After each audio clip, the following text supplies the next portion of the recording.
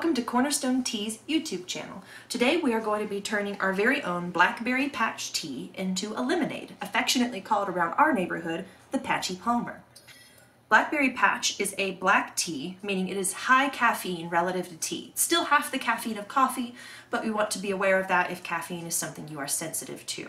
And being a black tea, additionally, it also has a defined steeping time. So it requires boiled water, not, not sustained at a boil, but freshly boiled water, and needs to be sat in that water for about three minutes, no more than four. Um, otherwise, black teas have a propensity to get bitter. Now this entire one ounce package is going to go into use uh, to make the tea concentrate, which is the first step of making it into a lemonade. So let's get started. So step one to making the blackberry patch into a concentrate is add one full ounce of the tea to a measuring cup, at least two cup measuring cup. And to that, we will add one and one thirds cup of freshly boiled water. Black teas and herbals require freshly boiled water to extract their volatile compounds most effectively. And we're going to let this sit and steep, make sure all the leaves are hydrated, for about three minutes, no more than four. So as you can imagine, this tea, or this lemonade comes together pretty quickly. So first thing we're going to do, well, second technically, is we're going to add one full cup's worth of sugar to our vessel of choice. I have adapted this recipe from its normal large amount to fit in a half gallon mason jar, but you can use whatever vessel you like. And additionally to this sugar, we will add one cup of lemon juice. Now let's talk about lemon juice for a minute. So I highly recommend that you not use the squeezy bottle or from concentrate lemon juice for this recipe. You will definitely taste the difference and it will not be in a pleasant way. What I have found and is very commonly available here in the States is um, jarred, bottled I should say, lemon juice with no preservative agents in it at all. This is perfect. I'm not a stickler for it being organic, but if you are, it's pretty widely available in this particular brand and others um, at my local Walmart. And I've seen it in several large grocery stores as well. So the quality of your ingredients with such a short ingredients list in your lemonade recipe makes a difference. Um, in this case, having preservative-free, high-quality lemon juice is going to really shine and pop in the end result. So pay attention to that sort of thing when you make this. And this recipe calls for a full cup, eight fluid ounces. Something I learned recently that I was not necessarily made aware of as a younger cook slash baker is liquid measuring devices and dry cup measuring devices uh, measure differently.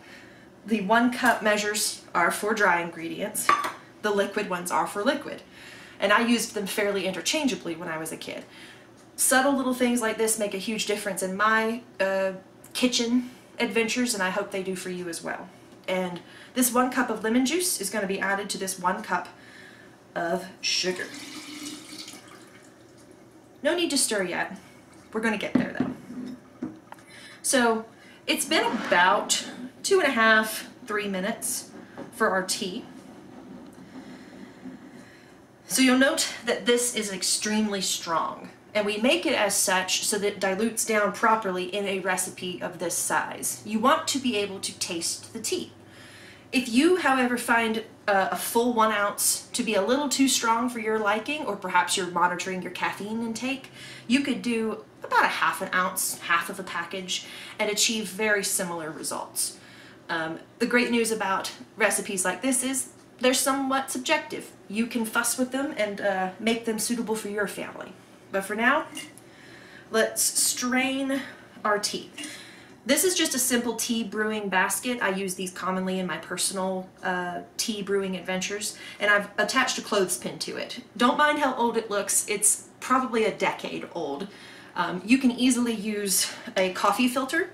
Uh, popped down into your vessel and close um, rubber banded if you have that around or any other straining device you may decide to use. And the clothespin is to keep it from slipping down into the jar and thus giving me the headache of having to strain out all those tea leaves.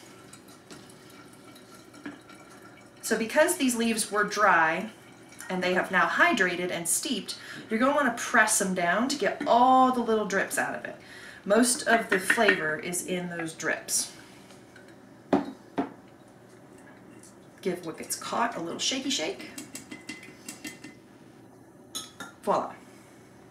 So at this point, we can give it a stir. This is just the lemon juice, the sugar, and the tea. But we're not done yet. So you're going to want to stir it until all the grit is gone. And it shouldn't be too difficult or too laborious at this stage because you have not only the hot tea, but the acid in the lemon juice working with you. So be patient. It won't take too long.